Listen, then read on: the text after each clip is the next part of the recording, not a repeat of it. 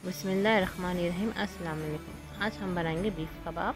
Beef कबाब के लिए हमें चाहिए बीफ, चने की दाल, आनियन लेनी है और इसके लिए मसाले हैं ये, गरम मसाले हैं, दालचीनी है, इसमें बड़ी इलायची है काली मिर्चें हैं, पिसी हुई लौंग है, अदरक लहसुन का पेस्ट है और नमक है।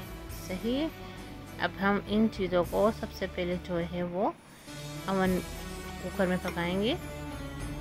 कुकर ले लेंगे और कुकर में सबसे पहले जो है हम वो बीफ को डालेंगे। बीफ जो है वो वन के जी है और हाफ़ के जी उसमें जो दाल है, चिली डाल देंगे और इसमें जो है बारीक काट के जो है वो हम इसी में जो है हम प्याज ऐड कर देंगे।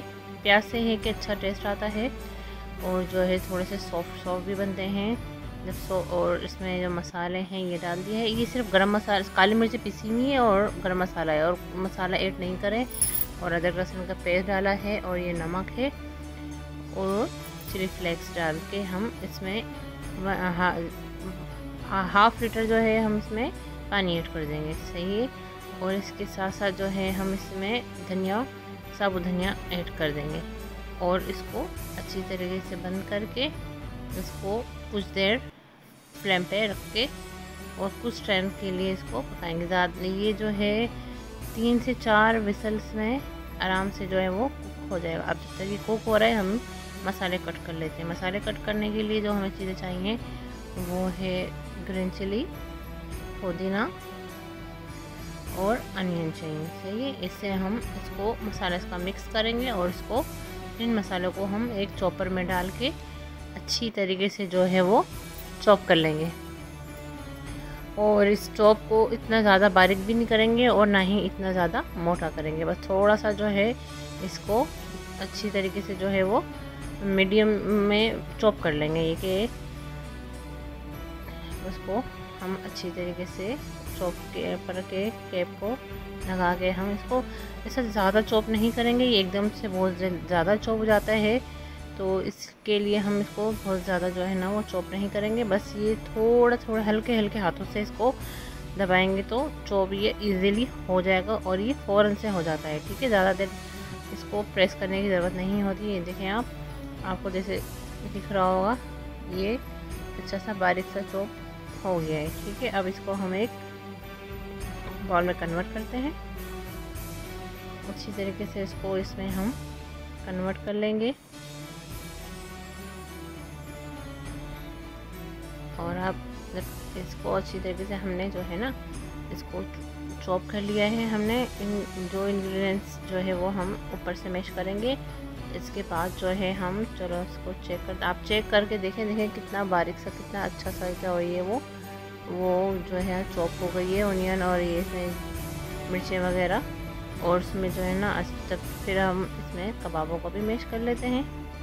साथ में जो है हमारा कबाबों का मसाला भी जो है वो ग्राइंड हो गया है और इसको भी हम ज़्यादा नहीं करेंगे बहुत ज़्यादा नहीं करेंगे, आराम आराम से ये फ़ौरन से जो है वो ग्राइंड हो जाता है, ठीक है? जैसे ये दो दफ़ा में मैंने ग्राइंड करा है हाफ़ हाफ़ करके। और इसको भी उसी मसाले के साथ बाउल में निकाल लिया ये देखिए अच्छी तरीके से हमने निकाल लिया है और इसको अच्छी तरीके से मिक्स कर लेंगे।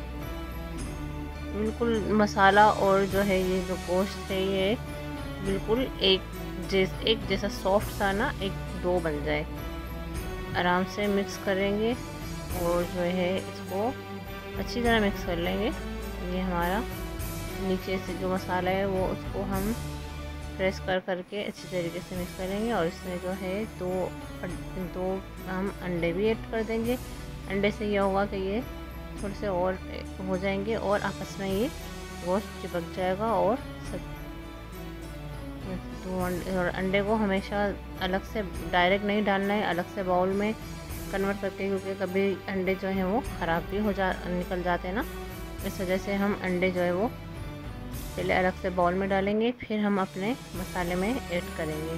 इससे ये कि अगर अंडे ख़राब निकलते हैं तो हमारा जो मसाला है वो बच जाएगा, और इसको अच्छी तरह मिक्स कर लेते हैं। ये मसाला हमारा जो है वो अच्छी तरीके से जो है वो मिक्स हो गया है, और फिर हम इसको एक एक ही साइज़ की, जितने पीसीस हमारे इसमें कबाब के बनेंगे, जिस कबाब की टिक्की बोलते हैं या जो बोलते हैं, वो हम आराम से जो है उसके कबाब अच्छी तरीके से बना लेंगे और वन बाय वन करके हम सारे इसको एक डिश में रखते जाएँगे और हम वन बाय वन करके आराम आराम से जो है सारे सॉफ्ट सॉफ्ट से, हल्के हाथों से ये बन जाएँगे। ये बन गई।